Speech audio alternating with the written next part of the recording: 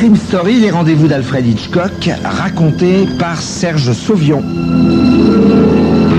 Et aujourd'hui, de Shirley Anne Fay, ma femme a disparu.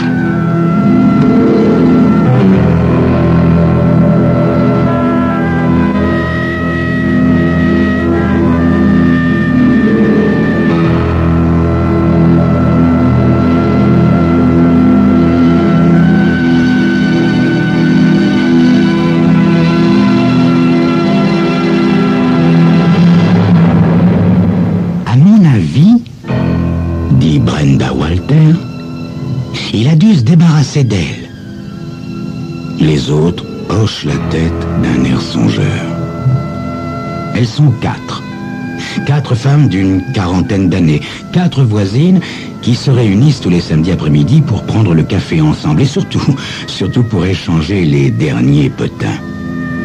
Aujourd'hui, leur petite séance hebdomadaire a lieu chez Doris Leyland, qui n'aurait pourtant dû recevoir ses quatre amis que le jeudi suivant.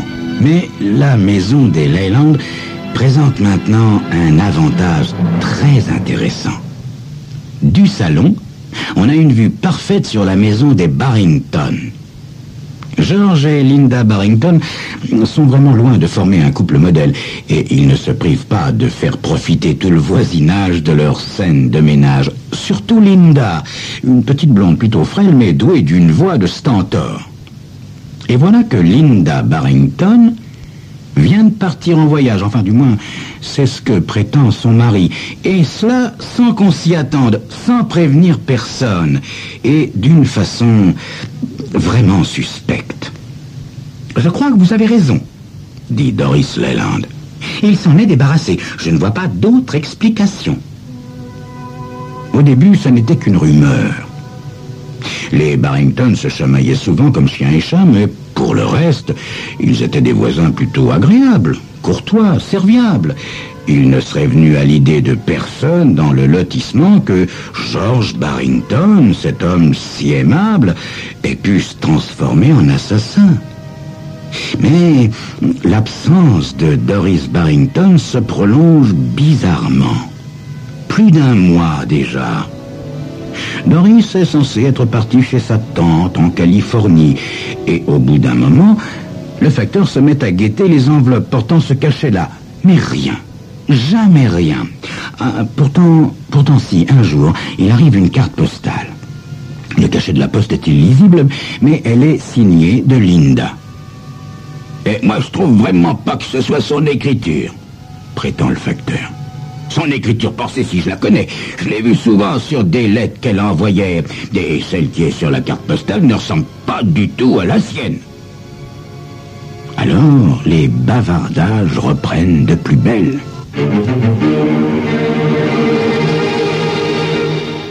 Vous savez, je vais vendre la maison, dit un jour George Barrington à Doris Leland, sa plus proche voisine. Ma femme se plaît tellement en Californie que nous allons nous installer là-bas. Comme je suis comptable et que je travaille à mon propre compte, je peux facilement changer d'endroit, n'est-ce pas? Alors, si Linda préfère la Californie, elle y est peut-être bien obligée, murmure Doris d'une voix pleine de sous-entendus. Une semaine plus tard, nouveau coup de théâtre dans ce que tout le voisinage appelle désormais sans rire l'affaire Barrington. George Barrington, qui s'accommode apparemment assez mal de la solitude, a été vu à plusieurs reprises dînant en compagnie d'une timide petite brune employée dans une banque du centre-ville. Bon, d'accord, d'accord, se disent les commères. C'est peut-être pas drôle de dîner seul tous les soirs, mais enfin, si Linda Barrington est effectivement en voyage, son mari fait preuve d'une imprudence qui risque de lui coûter cher.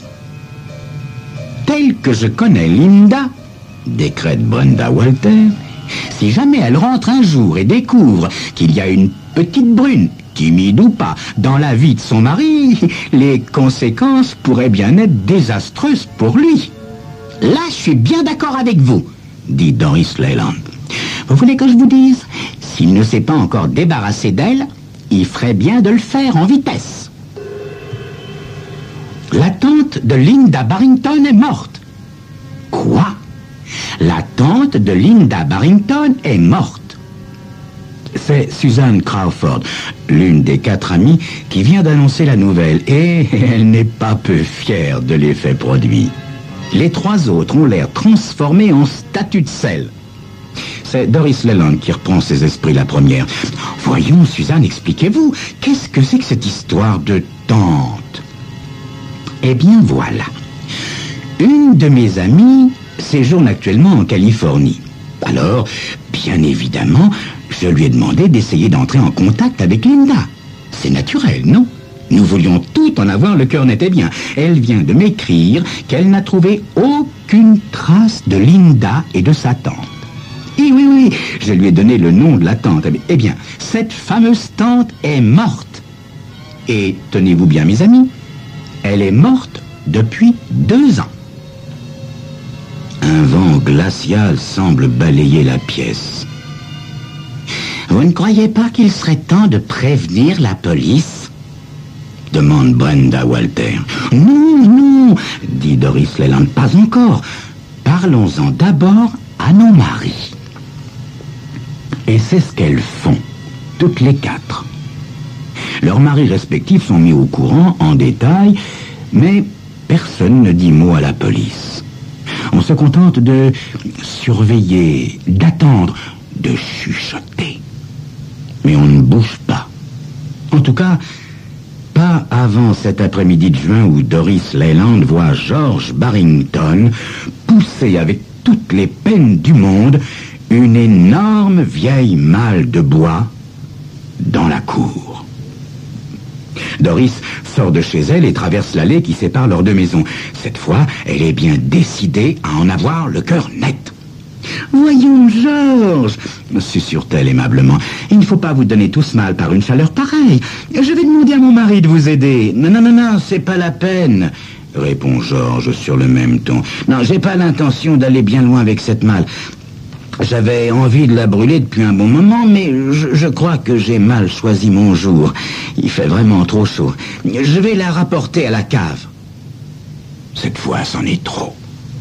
Si la malle contient bien ce à quoi tout le monde pense, George Barrington dépasse les limites de la provocation.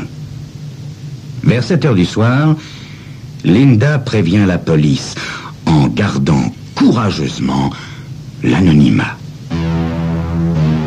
George Barrington est en train de regarder la télévision tout en sirotant son café quand il est soudain dérangé par un de ces coups de sonnette impérieux comme seule la police sait en donner.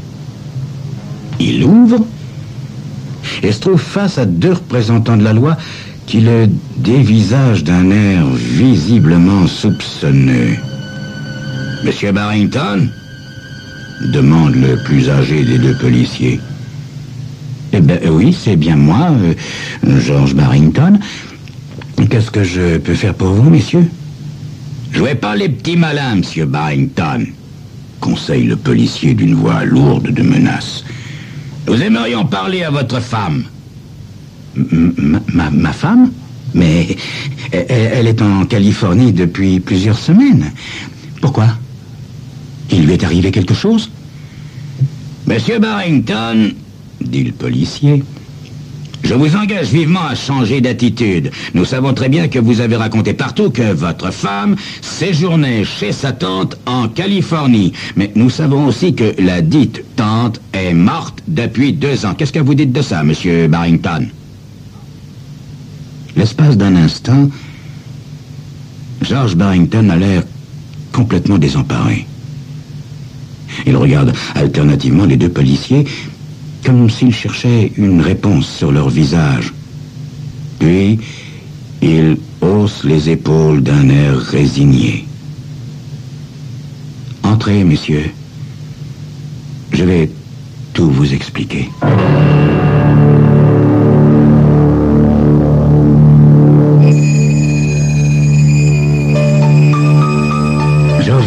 Va-t-il enfin faire apparaître la vérité sur son étrange comportement et surtout, va-t-il enfin calmer la curiosité de ses voisins? C'est ce que vous saurez dans quelques instants.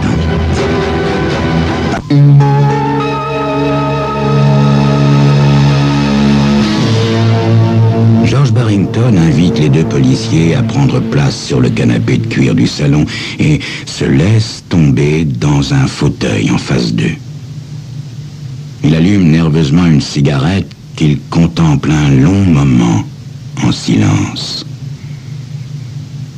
Voilà, dit-il enfin. Je serai tout à fait franc avec vous. La vérité, et croyez-moi, il m'en coûte de l'admettre, la vérité, c'est que j'ignore complètement où se trouve ma femme en ce moment. Elle est partie à la suite d'une dispute particulièrement violente en m'annonçant qu'elle ne me dirait ni où elle allait, ni quand elle reviendrait. Depuis son départ, je suis pratiquement sans nouvelles d'elle. Le seul signe de vie qu'elle m'ait donné, c'est une carte postale. Mais le cachet de la poste était illisible et la carte postale représentait un champ de marguerite. Les deux policiers échangent un coup d'œil interrogateur. Ne pensez-vous pas, monsieur Barrington, demande le plus âgé, que vous auriez dû prévenir la police? George Barrington a un sourire amer. Vous ne connaissez pas ma femme. Elle a de l'argent et sait très bien se débrouiller toute seule. Linda a toujours été quelqu'un de très indépendant. Pas du tout le genre de femme à accepter que des étrangers se mêlent à ce qu'elle considère comme des affaires strictement personnelles. Pourtant, monsieur Barrington, vous êtes bien en train de vendre la maison et les meubles. Ah, c'est donc que vous avez l'intention de déménager.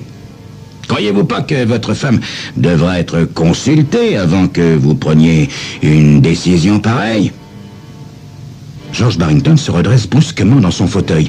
Il est presque pitoyable, cet époux humilié, et pourtant, il est encore fier. Je trouve, messieurs, que j'ai attendu assez longtemps comme ça. Cette maison m'appartient et je peux donc en disposer comme il me plaît. Quand ma femme reviendra, si elle revient, eh bien, elle n'aura qu'à me rechercher. Si elle se permet de disparaître des semaines entières, j'ai bien le droit d'en faire autant, non? Les policiers n'ont pas l'air très convaincus. Le plus jeune prend la parole pour la première fois. Excusez-nous, Monsieur Barrington, euh, on ne voudrait pas avoir l'air de mettre vos paroles en doute, mais euh, ça vous ennuierait-il beaucoup que euh, nous jetions un petit coup d'œil dans la maison? Hein?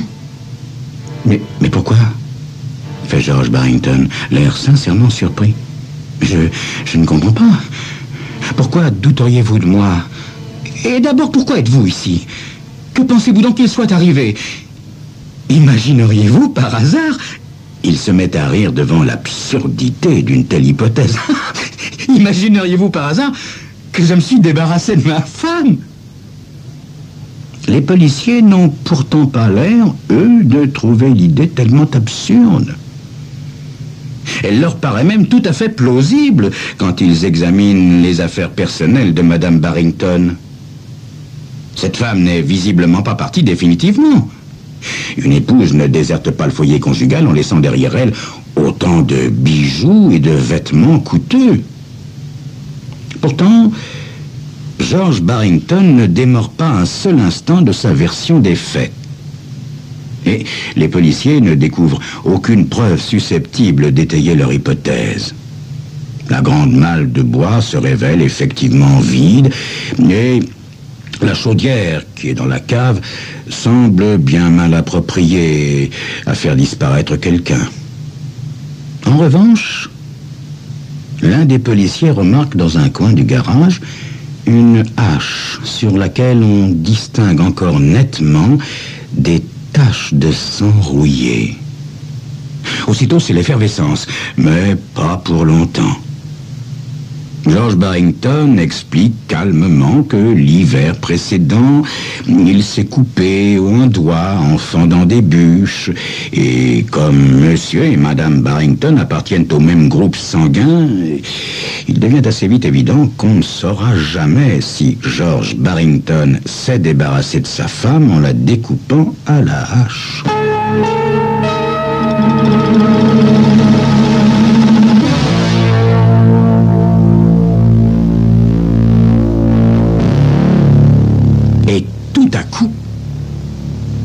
Les yeux ahuris de tous les voisins cachés derrière leurs rideaux, sous les yeux aussi ahuris des policiers et de George Barrington lui-même, Linda Barrington descend du taxi qui vient de s'arrêter devant la maison. Même à un autre moment, son retour ne serait pas passé inaperçu. Linda est toujours fidèle à elle-même. Le verbe haut, le claquement de talons impérieux, le geste sec et nerveux. Jeffrey appelle-t-elle de sa voix puissante. Viens payer le taxi Je suis de retour En pénétrant dans la maison, elle demande d'un air dédaigneux. Mais qui diable sont tous ces gens, Jeffrey? Ces gens, explique son mari d'un air penaud, ces gens sont des policiers. Des policiers qui, justement, étaient sur le point de prendre congé en promettant à George Barrington de revenir le lendemain. Et il marmonne de vagues excuses et ne tarde pas à disparaître. Je ne comprends pas, dit Madame Barrington un peu plus tard. Que signifie cette mise en scène ridicule Tu savais très bien que j'étais chez ma cousine Charlotte à Miami, et tu sais aussi que je déteste écrire. Quant à la mise en vente de la maison, je te conseille vivement de tout annuler, Jeffrey. En ce qui me concerne, je n'ai nullement l'intention de déménager. George Barrington tient à la main, caché derrière son dos, la hache qu'il a posée contre la cheminée du salon pendant que sa femme défaisait ses bagages. Il passe prudemment un doigt sur le bord effilé de la lame et s'approche de son épouse avec un bon sourire. Mais personne n'a jamais prétendu que nous allions déménager, ma chérie. C'est moi seul qui déménage. Les jours suivants, personne dans le voisinage ne s'étonne de n'avoir pas revu Linda Barrington depuis le soir de son retour. Après tout, hein, si elle a décidé de jouer les courants d'air, c'est son problème. D'ailleurs, tous les voisins sont bien trop gênés pour oser poser la moindre question à George Barrington. En fait, euh, il l'évite même assez soigneusement c'est par le facteur, chargé de faire suivre son courrier, qu'ils apprennent un peu plus tard le départ imminent de George Barrington pour la Californie. Si chacun en éprouve un secret soulagement, personne ne fait le moindre commentaire. Et personne ne propose à George Barrington de l'aider quand un samedi matin, vers 11 heures, il hisse avec toutes les du monde dans le coffre de son break la grande malle de bois.